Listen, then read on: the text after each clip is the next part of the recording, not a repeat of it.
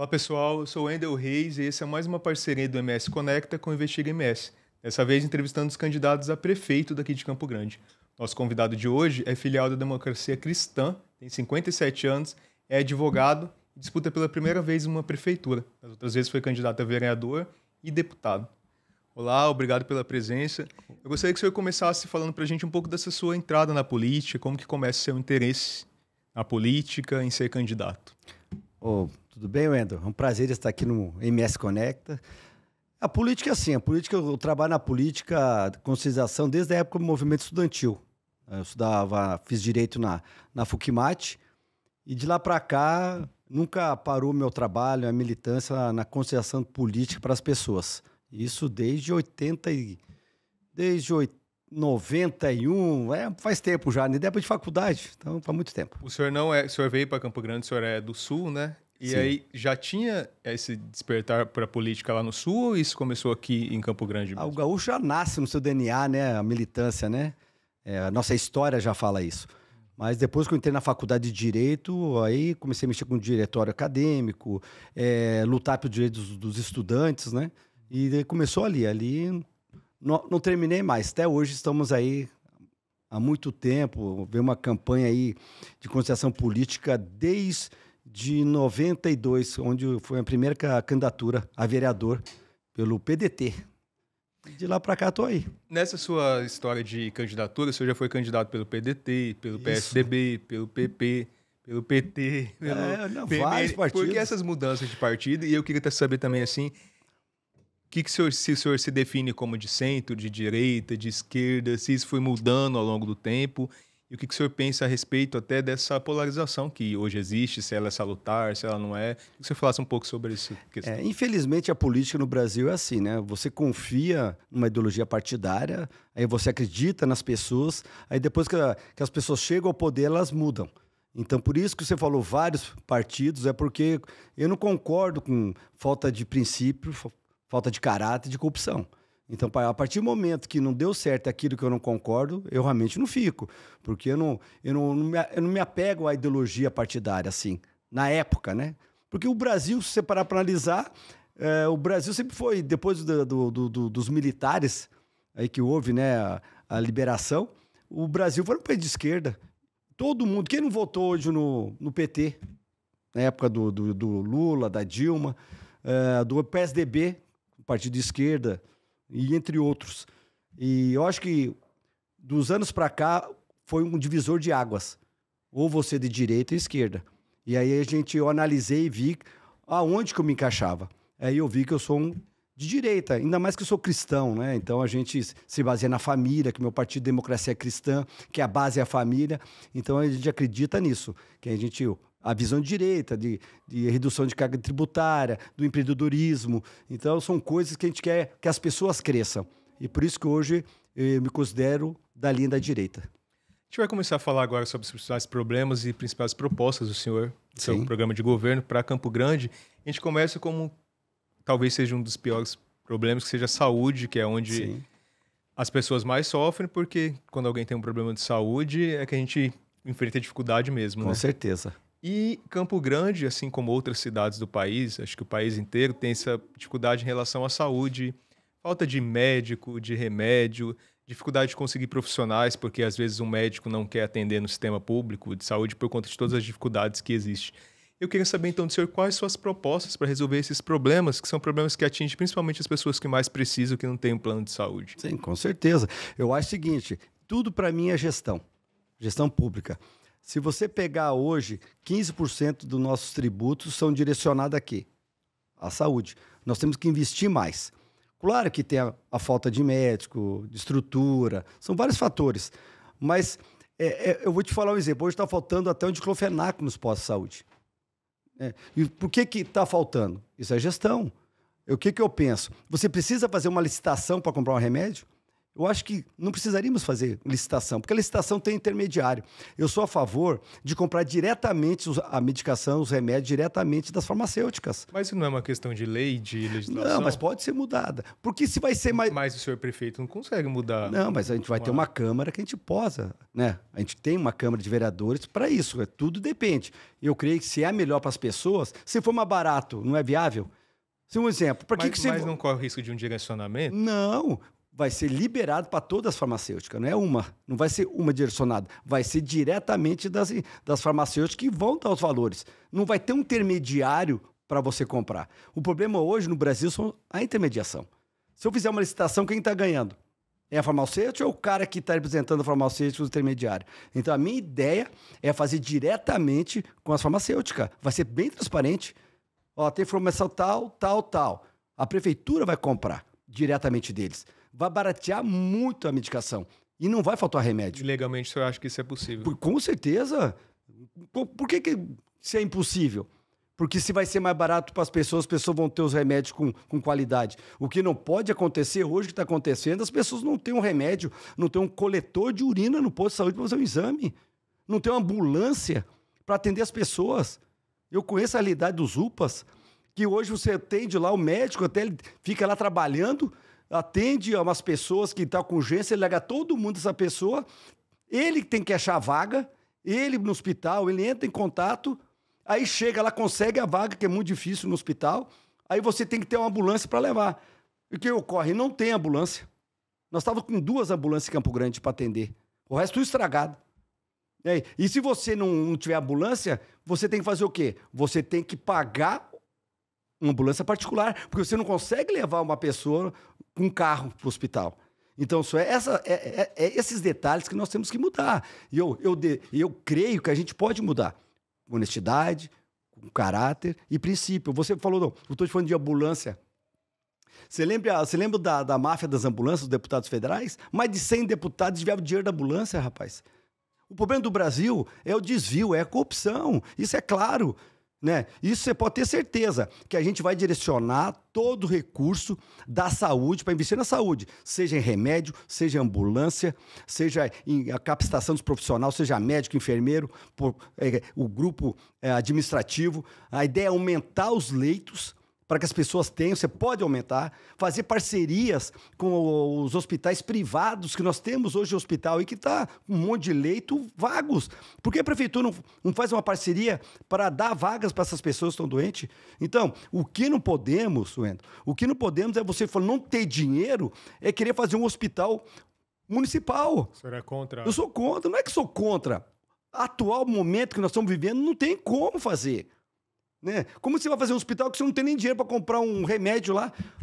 As pessoas, eu sou advogado, você tem que estar na justiça para a pessoa ter um direito a um remédio. Até uma fralda não tem dinheiro, não tem. Aí você entra na justiça, consegue, e aí a prefeitura recorre ainda. E agora quer fazer um, um hospital. Cara, assim, tá, tá, sabe, parece Alice no País das Maravilhas, cara. Tá viajando, vive em outro mundo nessa nossa realidade. O senhor pretende aumentar o recurso que é repassado para a saúde? Com certeza. Se tiver tudo que for para a saúde, é a base. Como você acabou de falar, a, a, saúde é a base. As pessoas doentes. E quem mais sofre, vendo? É, são as pessoas mais pobres.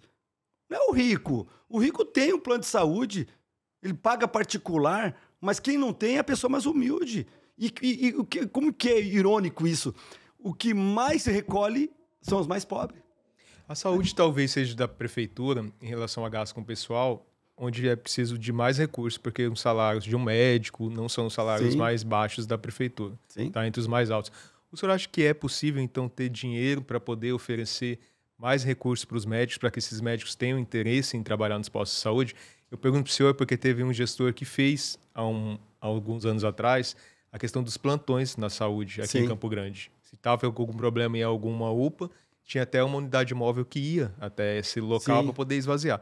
Só que isso demandou de muito dinheiro. E com o tempo, o outro prefeito que entrou não deu continuidade. O senhor acha que isso é possível continuar essas, essas unidades móveis, móveis fazendo esse tipo de trabalho? O senhor acha que tem dinheiro para poder aumentar salário, melhorar salário para poder atender e não comprometer também a renda da o recurso, a fonte de recurso da Sim, prefeitura? com certeza. Eu acho que tudo que vem, que você pode melhorar, Claro, tudo depende de recurso. Né? Hoje o nosso, nosso orçamento de Campo Grande é em torno de 6 bilhões, mas está muito direcionado só em folha de pagamento. Né? É, como eu te falei antes, muitas vezes nós temos que enxugar a máquina pública. Como a gente vai enxugar a máquina pública? É através do, do a gente os comissionados. Né? Os comissionados têm um X. É, você que, que mexe nessa parte, tem transparência do comissionado? Você sabe quantos tem comissionado? Se entra no portal, você não sabe. Um segredo que dura várias gestões. né? Uns dizem que vai, é muitos, ninguém sabe. Cadê a transparência disso? Então, hoje eu sempre digo: você já viu comissionado fazer, fazer greve? Nem eu. Então, eu acho que isso é uma política errada. Eu sempre lutei contra isso. Né? Então, a gente tem que sugar a máquina pública. Claro que tudo é um, é um sistema é muito grande nossa, no, no, no, em Campo Grande. Eu acho que Campo Grande falta o quê? Geração de emprego. É o macro. Entendeu? Porque é o seguinte, se você eu, eu sempre digo, nós somos um, um estado maior pecuarista do país e de, de, de, de, agricultura. Me fala uma indústria de grande porte, médio porte que está em Campo Grande? Não tem. Isso é política. Já, já que né? você tocou na geração de emprego, a gente pode falar de geração de emprego Sim, já para um próximo tema. E está acontecendo justamente isso. Muitas empresas estão indo para municípios do interior, Sim. porque Campo Grande não tem nem espaço territorialmente Sim. falando para poder Sim. construir que, que o senhor acha que então que é preciso investir aqui em Campo Grande para que gerem novos empregos, para que atenda essa demanda de emprego, principalmente para jovens? Não, espaço tem. Não podemos centralizar até região do Brasil, tem várias regiões de Campo Grande, nós temos muito terreno da prefeitura. A gente não precisa fazer um, um local específico para a indústria, aqui só a indústria. Não, isso é até importante. Aqui o bairro tem um espaço, o outro bairro tem espaço. Vai gerar emprego na própria localidade, de cada região.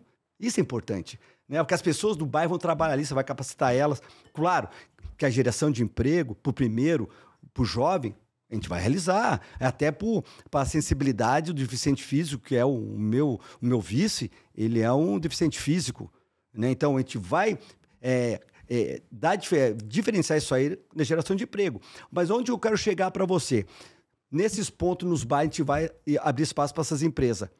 Como funciona? Se você trabalhar, se você gerar emprego, tem que dar isenção? Tem. Seja é, municipal, claro, mudou a lei, mas você dá estadual, federal, estadual, faz um pool. Dá. O cara, você não vai, você não vai, vai, vai recolher pouco imposto. Não. A empresa vai investir dinheiro aqui, vai gerar grana. A empresa vai dar funcionalismo. O cara vai o quê? O cara vai trabalhar e vai o quê? Vai comprar no comércio vai girar. A grande empresa, médio porte, tem o quê? Tem um plano particular de saúde. Ele vai desafogar onde, Wendel? Os postos. Acho que o segredo é atrair novas indústrias, então. Claro, é macro. Todo mundo vai ganhar e você vai o quê? Você não vai deixar de recolher. Você vai, todo mundo vai gastar, todo mundo vai receber, o pai da família vai sustentar a sua, a sua família, o jovem vai ter o seu primeiro emprego, sabe? Então isso é tudo macro. Mas nós temos que investir no empreendedorismo da geração de trabalho, porque o, o trabalho edifica. Acha que hoje está faltando isso em Campo Grande? Mas faz, faz muitos anos que está faltando isso. Eu sou da edição, sou gaúcho, da edição da Serra Gaúcha de Bento Gonçalves. Lá são pequenas propriedades.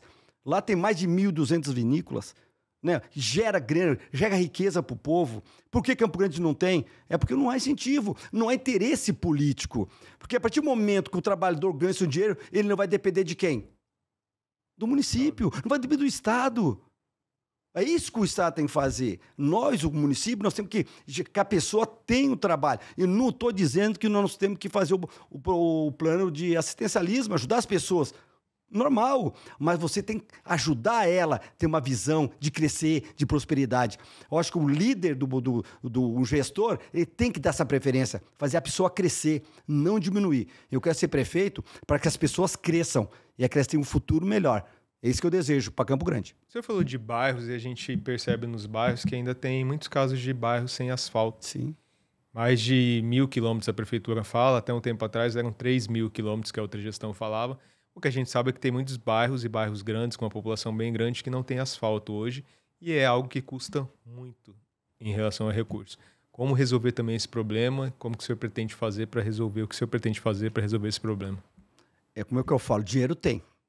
É só você não desviar ele. Infelizmente, hoje você vê que, é, é como eu sempre falo, você tem, você tem dinheiro para fazer mil quilômetros, fazem 200. Né? Então, eu vou fazer um, uma, uma, uma, gestão de conservadorismo, né? para que o dinheiro realmente seja aplicado. no asfalto, na educação, o secretário de obras vai ter que fazer isso. Você, é, é como eu te falei para você, é licitação. Tem que saber, a prefeitura tem que ter autonomia para saber quanto que é o metro. Hoje não tem isso. Infelizmente, o governo aí do estado tem uma verba para fazer asfalto, já foi direcionado. É isso que eu falo. Esse, esse valor, a gente pode fazer mil quilômetros, muitas vezes fazem 200, 300 quilômetros. Infelizmente é isso. Então, quando eu falo ser conservador, é que o, o dinheiro realmente chegue na sua finalidade. É esse o meu desejo. Seja na, na, na, na, na fazer asfalto, seja em construção de casa, seja tudo. Então, dinheiro tem, mas tem que realmente chegar para as pessoas. É igual tapa-buraco. Por que, que tapa-buraco nunca acaba?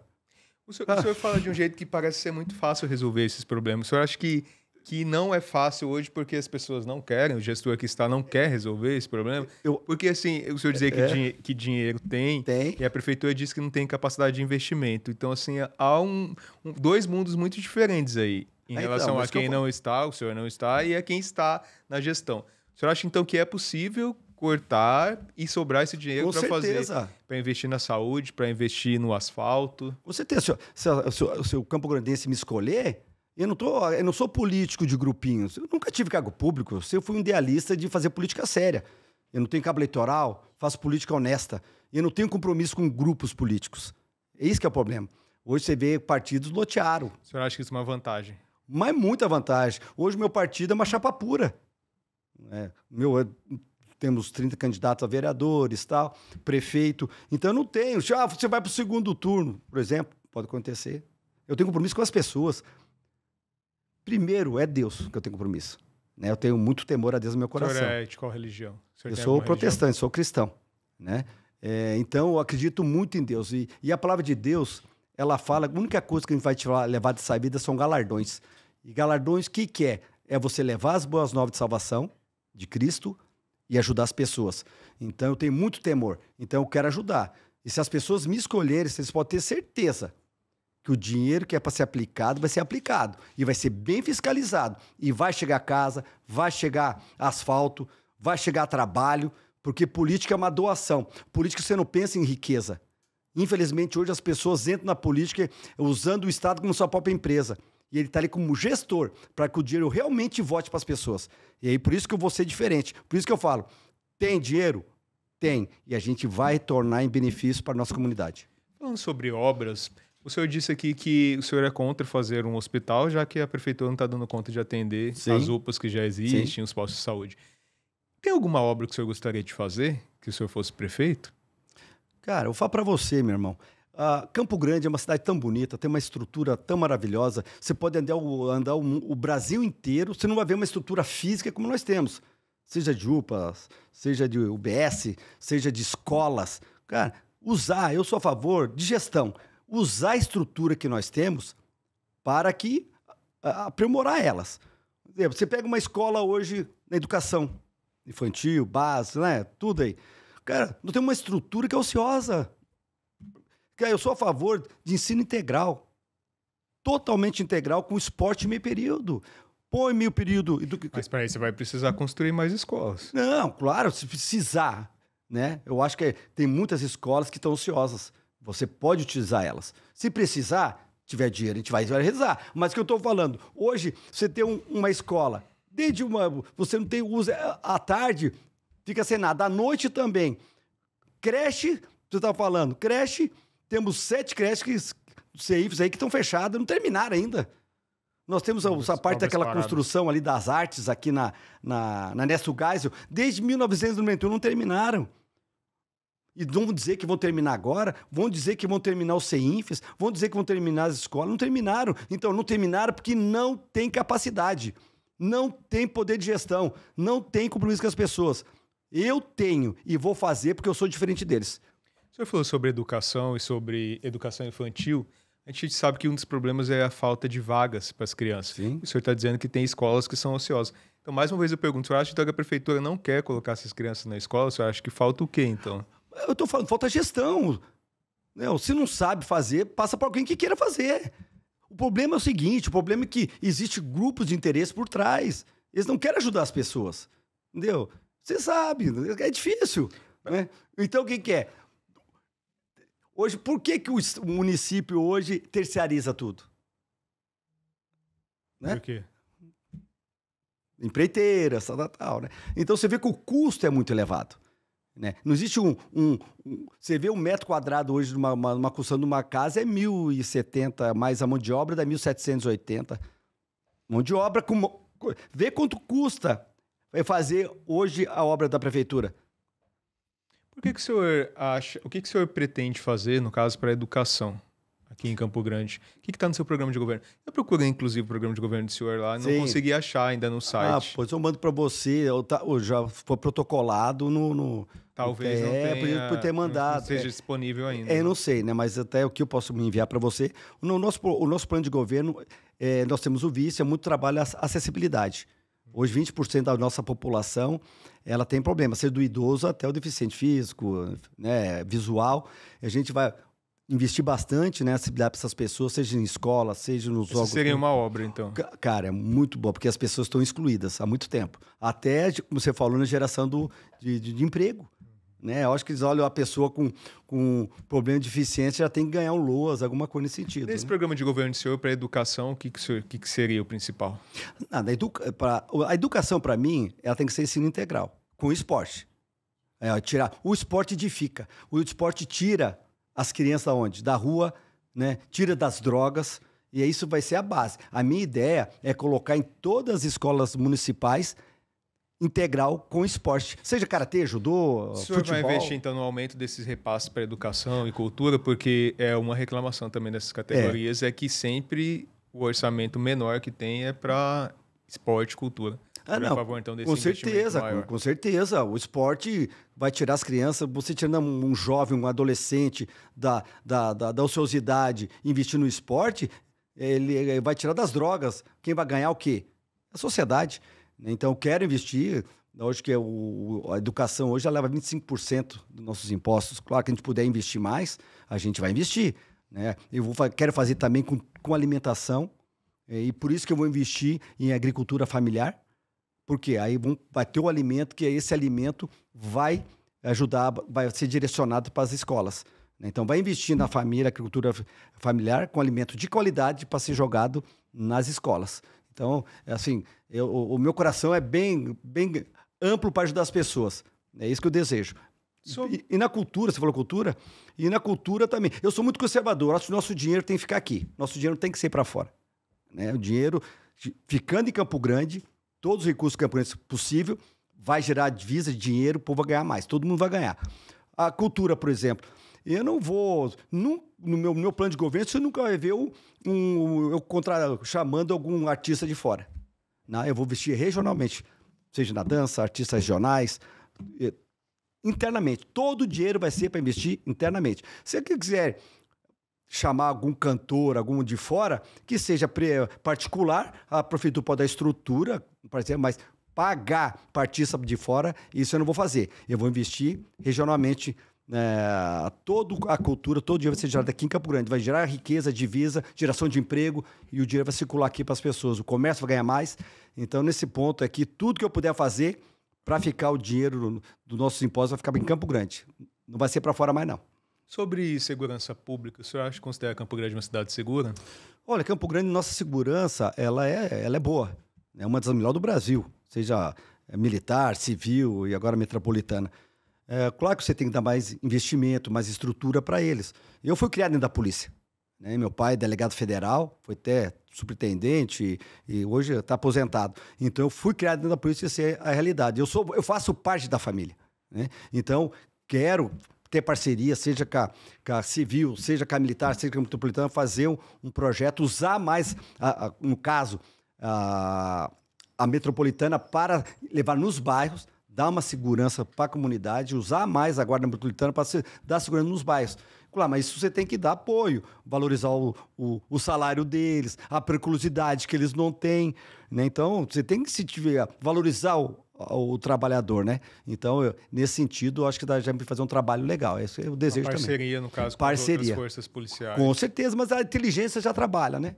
É, federal, estadual, municipal e, e, civil. Isso aí já Sobre trabalha. Sobre a área social, a gente tem, no país inteiro, em Campo Grande não é diferente, muitas pessoas na periferia que sofrem, Sim. falta de emprego, pais que têm que trabalhar e deixam o filho muitas vezes abandonado à Sim. própria sorte, crianças que a gente sabe que tem alimentação porque vai para a escola, em casa muitas vezes falta o que comer. O senhor tem. O que, que o senhor pensa para essa área social? Que projetos que o senhor tem? O senhor é a favor de programas sociais para atender essas famílias? Como que o senhor pensa essa questão social que atinge bastante as pessoas e como a gente começou conversando, principalmente as que mais precisam mais precisa. da força do Estado. Não, com certeza. É, como, como nós estávamos falando antes, eu estava vendo um, uma pesquisa aí, é, 60% é, da, da, da, da escola, de crianças de, de 0 a 5 anos, não vão para a escola. Né? São as pessoas mais pobres. Né? Então a gente vai, a nossa ideia é ajudar mesmo para que realmente elas vão para a escola, tenham uma alimentação. Tudo eu falei para você, seja creche, educação municipal, a gente vai investir para que seja integral, né, com a alimentação adequada para essas pessoas, essas crianças e jovens terem a condição financeira melhor. Eu acho que a, a gente tem que fazer isso. É nossa obrigação como cristão, meu partido é cristão, é ajudar o seu semelhante. Né? Então eu quero fazer esse trabalho aí, mas claro, ajudando elas crescerem, que elas têm um sonho, um projeto de trabalho para o pai, para a mãe, para poder sustentar a sua família. Tem então, algum programa né? social que o senhor tenha no seu projeto de governo para atender essas famílias mais carentes? Como que, que o senhor pretende fazer isso? Não, eu, Porque são pessoas que, que precisam de solução claro. imediata. Sim, precisa claro. ou de renda para ter o que comer, para pagar um aluguel, ou precisa de um emprego para poder conseguir fazer o, sozinho isso. Claro. Como que o senhor, o que, que o senhor pensa? O emprego já é base. A gente vai investir muito na geração de emprego. Isso aí é, é a base do meu governo para as pessoas possam trabalhar. Porque, né, isso é, mas assim, eu, o que eu criar assim para ajudar, a minha ideia é fazer um, na, na, juntamente com a secretaria, é fazer um cartão de assistência, um valor. Então, essa, esse cartão, ela, ela só, só poderá usar para alimentos básicos na, na, nas redes dos comércios. Então, lá, um X de valor, a gente vai ver o orçamento, claro. Aí, essas pessoas realmente que precisam, não vai comprar bebida, viu? É só, né? Vai ser alimento básico: arroz, feijão, trigo, farinha, alimento básico. Então, vai fazer esse cartão para ajudar as pessoas a poder comprar e se alimentar. Isso é, já está no, no meu coração fazer isso. O senhor colocou isso no programa de governo? Já está tudo lá, assistencial, assistencial, tudo. Porque, porque você pega a secretaria, você pode fazer, vê o recurso que vem, aí você vai fazer essa gestão. Você está entendendo? Então, quando você tem a secretaria, você já tem a plataforma de investimento. Então, a gente vai fazer esse trabalho. Entendeu? Claro, temos que analisar e ver o, o, o recolhimento, o recurso que tem também. Mas a gente deseja é, realizar. Né? Então, e, e, é isso aí, vamos ajudar e investir naquilo que já tem, né? que, é que, como já falei, na, dando para essa uma creche de qualidade, isso já é uma, uma assistência social. Uma creche para a mãe botar seu filho integral, com alimentação, tudo isso já está fazendo assistência social. Né? Ou seja, uma escola com alimentação adequada, e ali você vai trabalhando, claro, moradia é necessário também, né? Sou a favor de fazer moradia, pegar pessoas, desfavelar, pessoas humildes, dar uma casa para ela, pegar os terrenos que tem da prefeitura ou na própria região de que tem, e cada região tem o seu problema, fazer o quê? Hoje em dia a tecnologia mudou muito, viu, Renan? E não sei porque não usam a tecnologia. No Brasil, não sei, gostam de investir. Hoje consegue fazer uma casa modular em um dia. Eu tenho um amigo meu que faz isso, ele é construtor. Pô, dois quartos, sala, cozinha, num dia custo zero, barato, entendeu? Zero não, né? Barato, né? E que você possa, cara, colocar essas famílias numa casa digna, mas tem que ter, querer fazer, né? Querer fazer. Tem um problema muito grande hoje em dia aqui na cidade de muito. moradores de rua, pessoas que são dependentes químicos. Sim. É uma questão que passa por área social, mas também por saúde. Porque eles não, eles não, podem ser obrigados a se tratar. O que, que o senhor pensa? É possível resolver essa questão? Como resolver esse problema? É, é, é, essa, essa questão já, já, já até falaram comigo, né? Ah, infelizmente, o governo federal ele tinha uma, um auxílio para quem tem problemas químicos, para fazer internação, e foi cortado. Né? Mas assim, a gente quer poder auxiliar essas pessoas, mas eu acredito que nós temos que dar junto essas, eh, essas clínicas de tratamento, dar a prefeitura fazer parceria para ajudar. Mas, infelizmente, conforme a droga, hoje os direitos humanos é contra, né? mas eu acho que tem que ter uma internação compulsória. Não tem como você pegar um cara. O senhor não vai poder fazer isso porque não é, não é possível. É, eu sei, mas é, o, é o caminho certo. Não tem outro caminho. Não adianta você falar, ah, cara, eu vou fazer. Você pega o cara, põe lá no CRAS, cuida do cara um dia, dois dias, três dias, ele vai embora. E vai voltar pro lugar que ele estava usando o droga, pô. Se o cara, se você não pegar o cara, um cara, eles mesmos, já falei com vários, Endo, vários. Ele falou: se não me internar compulsoriamente, não adianta, eu não consigo. Se conta com os dedos quem Acho consegue que sair. mudar a legislação. Tem então. que mudar. Entendeu? Nova York foi assim. O cara o, chegou pro, o, o prefeito na época e falou: ó, você prefere ser preso ou você quer ser internado? Não, não tem o meio termo. Os caras falaram: eu quero ser internado. Resolveu. Mas aqui tem, tem, que se mudar. Ah, o cara, ah, os direitos humanos, mas vai cuidar deles? Cuida do, do deficiente? Cuida da família que tem esse problema? O cara não consegue sozinho. Isso é verdade. Um e outro se conta com o dedo que, se, que vai para a igreja, se converte e consegue mudar a sua vida. Mas é muito pouco comparado em vários, milhares deles. Né? Então eu acredito e fazer parceria com os clientes de tratamento, seja né, de, de, particular ou, ou, ou, religiosa, para que possamos ajudar essas pessoas. Né? Sobre transporte coletivo, o senhor é a favor de romper com o consórcio Guarcorus? Hoje há uma reclamação do consórcio que alega que não há recado suficiente e dos usuários do transporte coletivo que reclamam da qualidade do transporte. Como resolver essa matemática tão complicada? Eu sou, eu sou advogado, né? Eu acho que todo dia todo mundo tem obrigações e deveres. Se o, se o consórcio não está cumprindo também, eu acho que tem, tem que rescindir ou aplicar algum tipo de sanção para eles. Mas assim, o que, que eu acredito? É, é fazer transporte alternativo. Né? Até eu fui no debate, o único que falou isso fui eu. Transporte alternativo. Que seria o quê? Por exemplo, fazer vans, várias capitais, tem vans. Faz corredores de van, de linha de van que ligam, vai ter ar-condicionado, vai ter uma, uma qualidade de vida, deixar as pessoas trabalharem, vai gerar emprego, as pessoas vão ter qualidade de, de transporte. Chega igual Curitiba. Curitiba nós temos ali é, bicicletas elétricas, particular que você coloca, ela anda.